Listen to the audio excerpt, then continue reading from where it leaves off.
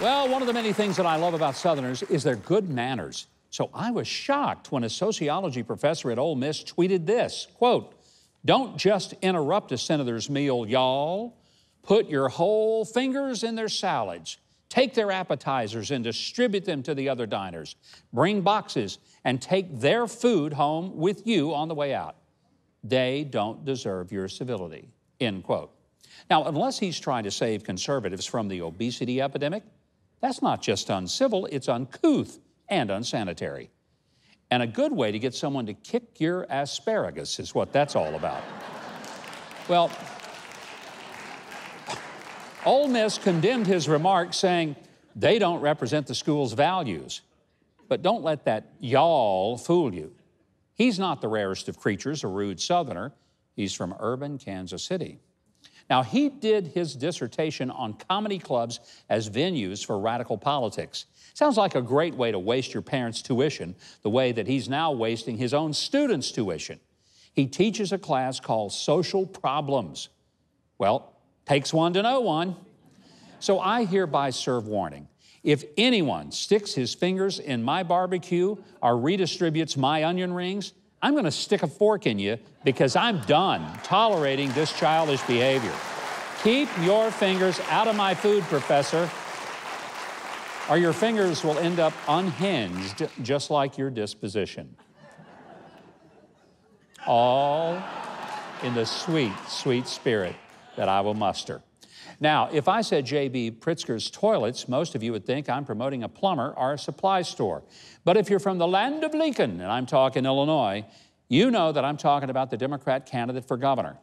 Why are his commodes a matter of public discussion?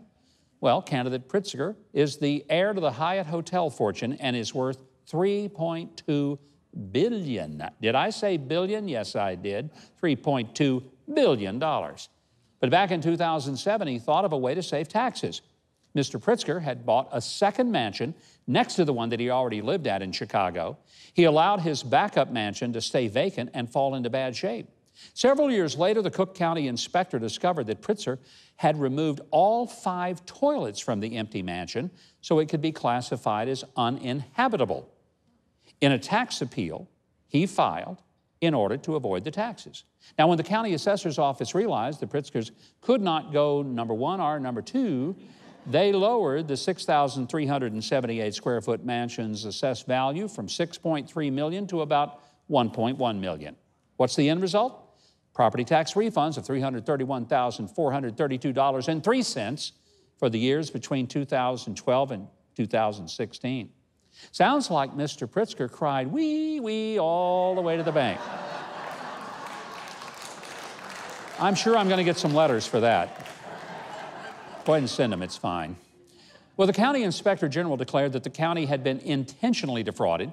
Candidate Pritzker agreed to pay back the monies, but defended his decision as it followed the rules.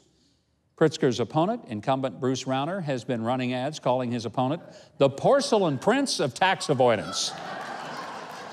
Despite the billionaire's toilet removal, a Southern Illinois University poll shows that Pritzker is ahead by 22 points over Governor Rauner.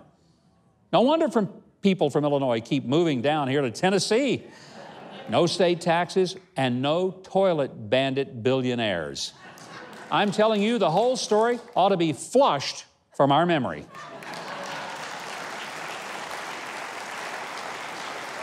And from our post-nasal drip file, there is a $6.27 reward. Yep, that's right, 627 uh, reward for information leading to the return of a stolen 50-pound nose sculpture in Oregon. No joke here. Someone actually stole a 50-pound nose, and someone had a 50-pound nose to steal. Actually makes you wonder why your nose runs and your feet smell. But I digress. The two foot high nose was stolen off the Albert family's front porch in Portland. That's the very same 50 pound nose sculpture that someone else had thrown away after last Halloween. Well, you know the old saying one man's trash is another man's 50 pound mucus making machine. it's just something we thought was really funny and made us a part of Keep Portland Weird, said 11 year old Sayre Albert, as he told KGW TV.